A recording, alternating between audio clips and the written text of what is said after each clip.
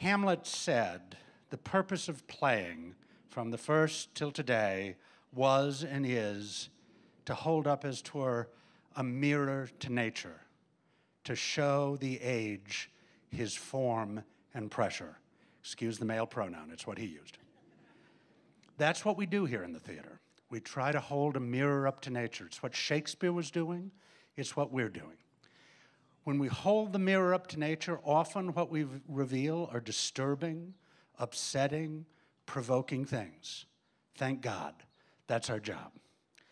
Anybody who watches this play tonight, and I'm sorry there's going to be a couple of spoiler alerts here, but we'll know that neither Shakespeare nor the public theater could possibly advocate violence as a solution to political problems, and certainly not assassination. This play, on the contrary, warns about what happens when you try to preserve democracy by non democratic means.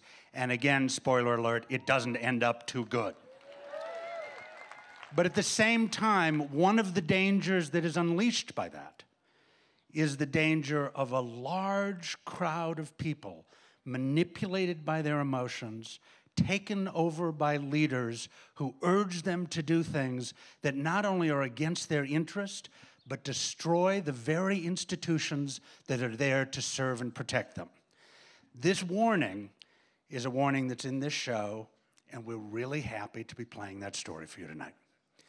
What I also want to say, and in this I speak, I am proud to say, for the public theater, past, present, and I hope future, for the staff of the public theater, for the crews at the public theater, for the board of directors of the public theater, and for Patrick Willingham and myself, when I say that we are here to uphold the public's mission.